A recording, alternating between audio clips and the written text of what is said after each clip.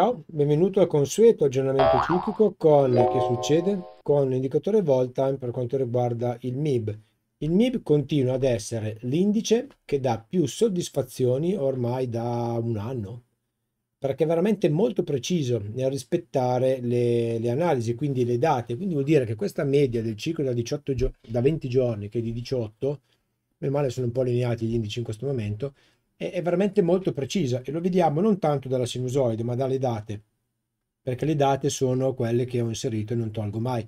Arrivato a un certo punto, dopo un po' di mesi, sono obbligato a cancellarle perché MetaTrader ha un limite, oltre al quale non me ne fa più mettere, ok? Però in questo caso abbiamo circa 6 mesi, giusto? 9, 7 mesi di eh, analisi ed è, eh, si vede bene come sia stato molto preciso, tranne qua, per intenderci, dove il mercato non ha fatto discesa. Poi qui era previsto un minimo, è andato poi successivamente ad agganciare questo come minimo e quindi è stata una, una previsione errata, no? il mercato sarebbe dovuto scendere fino al 20 di luglio, però per il resto le date sono tutte corrette con la debita varianza. Quindi cosa dobbiamo aspettarci? Ho già preso le medicine, grazie. Cosa ci dobbiamo aspettare per i prossimi giorni? La fase di salita è quasi giunta alle, a questa trend line del ciclo da 40 giorni, ok, indicatore identifica i massimi, quindi ciclo da 40 giorni è tracciata questa, ma possiamo ancora tenerla. La quasi raggiunta e direi che il mercato ormai, ormai dovrebbe andarla a prendere, di certo non c'è niente in questo mestiere, però visto che manca davvero poco potrebbe essere un'area di target, però eh, non, eh, non vieta che possa esserci la rottura della trend line, che in questo caso è una rottura sarebbe qualcosa di molto molto interessante. No non andrebbe preso in considerazione direi. E, ehm, però in caso di rottura vedremo poi eventualmente il mercato cercare di andare ancora a vedere i massimi del 20 settembre. Qua long non si va più da un punto di vista statistico. Poi il mercato potrà farsi anche ancora che ne so 300 punti 400 punti 1000 punti per andare a rompere i massimi di, di luglio ok? I massimi diciamo li chiamiamo assoluti anche se assoluti non sono stati, ok? E, ehm, però noi sicuramente short e long non andremo più a cercare. Abbiamo il picco previsto per il 4 di novembre che ovviamente andrà spostato di un giorno perché sabato e domenica non ci sono, quindi diventerà un 5 di novembre. Scusatemi, ma la gamba per la schiena. E, 4 barra 5 di novembre, quindi ripeto, long non si va più. Si perde un treno, ok, ma qui bisogna iniziare a cercare delle indicazioni che il mercato ci dica ok prendo la fase di ribasso che è quella che su base statistica e probabilistica il mercato dovrebbe andare a prendere. Prima di andare avanti come sempre ti chiedo il like sul MIB hai fatto un pozzo di soldi. Se guardiamo anche solo l'ultimo mese ti sei preso tutta la salita tutta la discesa e tutta la salita ok? Quasi al giorno. Quindi un like direi che è il minimo che mi possa aspettare ti invito anche qua in alto a destra, alla tua sinistra in realtà, e no alla tua de sì, destra, guardando lo schermo. Yes. Di, ehm, ti invito a andare a cliccare sulle schede per accedere ovviamente a quelli che sono i miei servizi. Troverai comunque anche tutti i link sotto in descrizione. Servizi che trovi sul sito tradingpertutti.com, sito che è attivo dal 2007, in realtà un paio d'anni, do, un anno dopo forse, si chiamava il trading per tutti chiocciolaltervista.org, era ancora ospitato sul nostro gratuito e mh, mm, all'epoca proprio era all'inizio dove mettevo le mie analisi, i miei corsi base, mi ricordo il corso di, di, mm, di Fibonacci avanzato, tutte queste cose qua, di, di Napoli, eccetera. Ti invito a registrarti al canale Telegram gratuito, Ogni giorno riceverai una tra le analisi su DAX, Nasdaq, Dow Jones, S&P e Gold, sia ciclica che volumetrica ovviamente. I segnali intraday sugli indici ehm, hanno, sta andando molto bene, non ho ancora aggiornato, mannaggia, lo farò domani. Il, ehm, qua.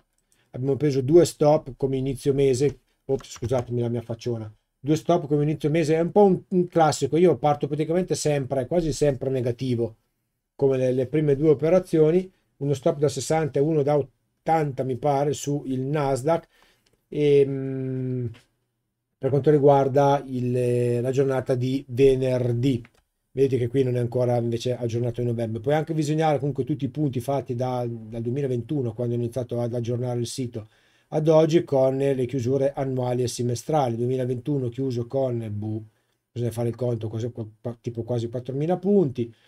Il ehm, 2021, il semestre il 2022 chiuso, chiuso con 6.000-7.000 punti, il 23 sicuramente è meno ricco, siamo a 1.230 punti più quelli fatti finora e non arriverò sicuramente a fare i numeri del 2022, proprio assolutamente no, è impossibile, però rimane comunque un anno positivo nonostante qualche mm, mese dove alcuni degli strumenti che trado si sono chiusi negativamente. Indicatore Volten per lavorare con il mio metodo, avrai accesso all'indicatore, canale Telegram di supporto più ovviamente i, i, video formativi, ma se vuoi approfondire ancora di più l'analisi ciclica, l'analisi volumetrica, quindi diventare un esperto nel prevedere il futuro movimento dei mercati e nell'identificare veramente il, i livelli corretti con il volume solo, che hanno un valore alto solo quando siamo in presenza di un massimo e di un minimo ciclico, ok? Un valore alto, non dico che non funzioni nel modo più assoluto, ma il valore del volume aumenta enormemente quando siamo statisticamente su un livello corretto, quindi dal punto di vista temporale, e puoi contattarmi o sotto al link oppure andando a cliccare qua sulla mia chattina. Per poter iniziare il percorso con me, un percorso one to one, quindi si parla di lezioni individuali, perché almeno si può, posso adeguare la formazione esattamente sulla persona che mi ritrovo davanti. Quindi ci sarà il trader che ha, più, ha bisogno di più tempo, di meno tempo, di concentrarsi più su un argomento o su un altro e solo delle lezioni individuali consentono di fare questo. Avrai ovviamente in omaggio un anno intero di indicatore. Chiedimi appunto informazioni per poter approfondire ancora di più il mio programma formativo e fare quello che vedi qua. Quindi, che cosa facciamo adesso? Abbiamo appurato che dobbiamo cercare delle indicazioni che ci confermino eh, un'inversione da parte del mercato. Non ho trend line nuove da tracciare, solo probabilmente in intraday potremo tracciare delle trend line, quindi andiamo su TradingView e andiamo a cercare l'indice del MIB, perché il MIB su TradingView non c'è come future, ma solo come indice. Ho tracciato ovviamente anche qua le, trend, le, le trend line che ho utilizzato per formare i canali, andiamo a levare i livelli che non servono più, che il mercato si è rifumati, quindi non ha senso tenerli. Toglievo questo per prezzo. Prossimo A, prossima area, identificate questo qui, che non so neanche perché l'ho messo, ah sì, perché era qua. Ok? Quindi parliamo del livello tra 28.936 e 29.100 per quanto riguarda ovviamente parlo di indice, poi c'è tutto questo mega blocco Blocco perché lo chiamo blocco? Perché c'è, c'è è un quadratone enorme. Quello più recente è questo, quindi quest'area, poi qui abbiamo invece quello che non era ancora stato toccato e risalente non so neanche quando. Risalente primi anni 60 forse. Eccolo qua, risalente al giugno 2008, fate un po' voi. Quindi torniamo comunque al presente che è un po' meglio. Abbiamo uno stocastico che è nella terra di nessuno, metà strada, quindi c'è ancora spazio per un rialzo, ma ciclicamente no. O meglio, ciclicamente siamo troppo borderline. Quindi, come dicevo prima, non possiamo fare niente. Possiamo solo rimanere in attesa di vedere che cosa farà il mercato se raggiungerà la trend line e che cosa farà il mercato se romperà la trend line e tirerà a raggiungere nuovamente quest'area. Quindi parliamo dell'area ehm, parliamo dell'area 29.250. Quindi così come il DAX, così come il Nasdaq, così come l'S&P, rimaniamo fermi in attesa che il mercato ci dia qualche indicazione. Ricordiamoci sempre, io sono il primo, vedi venerdì che un trade me lo potevo risparmiare, che la maggior parte dei giorni non dobbiamo fare operazioni. E dobbiamo fare operazioni solo quando c'è il, il modo di fare operazioni, quindi questo è uno di quei momenti in cui le operazioni non vanno fatte non si deve comprare perché ha fatto 4 giorni di rialzo perché è da pirla, così come da pirla vendere perché ha fatto 4 giorni di ribasso al mercato. Bisogna attendere delle conferme che al momento, seguendo la statistica dell'analisi ciclica, non abbiamo per un ingresso short. Quindi rimaniamo fermi, ci, ci aggiorneremo in settimana per cercare di, ehm, cioè per aggiornare l'analisi e vedere se ci sarà qualche novità da un punto di vista eh, dello spunto per un ingresso al mercato. Con questo è tutto buona domenica sera.